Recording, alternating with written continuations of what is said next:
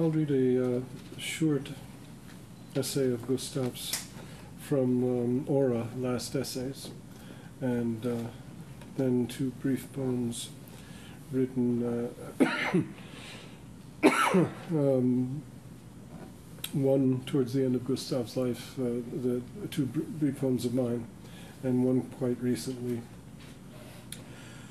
The inaudible aura of bells. Located in the very heart of the Luberon, alongside an abandoned mountain pass, the priory of Saint-Symphorien can be spotted from a remarkable distance thanks to its tall, slender, buff colored belfry. Indeed, this belfry strikes the visitor today as needlessly elongated, towering as it does in its four storied turret high over the surrounding woodlands. What was the need, one might ask, for such a sprung, seemingly hypertrophic structure? It's only in reading the appropriate documentation that one comes to realize that the bells of Saint Symphorien not only rang the hours, both canonical and sidereal, but served, as bells often did throughout Christendom, non chronological functions. At Saint Symphorien, for instance, they were known to direct travelers caught in a heavy fog or a blinding winter blizzard on the outlying mountain pass toward the refuge of the monasterium itself. From afar, the bells quite literally told the traveler's way to warmth and shelter within the walls of the sanctuary proper. Church bells, in fact, have long been invested with a broad range of powers, be they functional or mystical, well beyond that of fulfilling their perfunctory mission.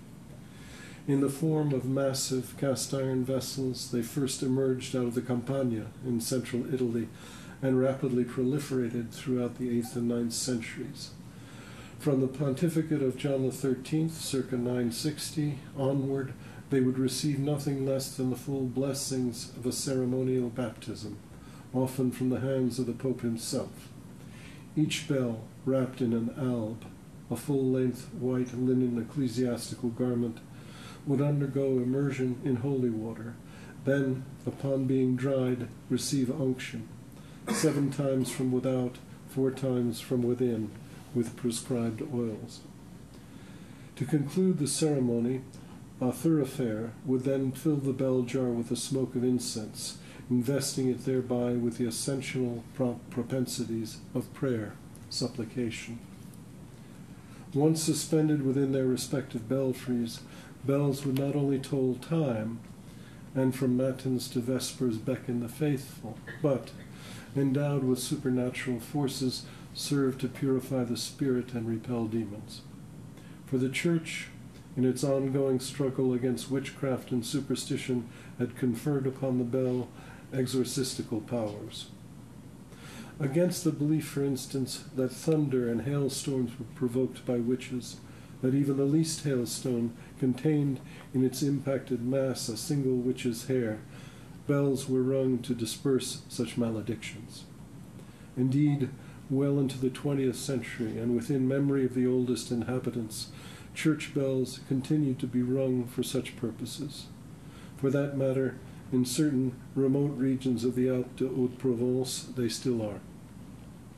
The tolling of bells was also reputed to protect grain from the moment of its sowing to that of its harvesting. By the faultless fall of their vibratory beats, the bells would awaken the seedlings from the torpor of winter and so stimulate their germination. This would be particularly true in celebrating on the 25th of March each year the Annunciation. For the anniversary of that mystic insemination could only favor, in the symbiotic spirit of parishioners, the insemination of the fields themselves. Quote, May an everlasting protection hover over the harvests of the faithful as well as over their bodies and souls, unquote, an ecclesiastic would intone in baptizing a new bell. Invested with the power to tease the seedling forth from within while protecting it against demonic forces from without, the church bell, over the centuries, brought solace to the devout on little more than a quaver, the sonorous aura of its vibrations. One might well assume that, under the influence of its subtle pulsations, it allowed the long awns and sharp spikelets of an ear of barley to burst into radiant flower every bit as much as it bathed once the deepest recesses of the human heart in the balm of its resonance. That's good.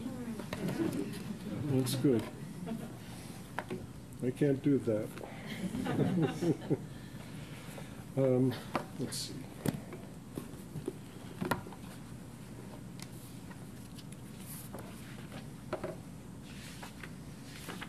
It's amazingly uh, moving, actually, to put that singular language of Gustaf's into your mouth and let it go through you. It's the same with reading the poetry. There's no distinction really in that regard.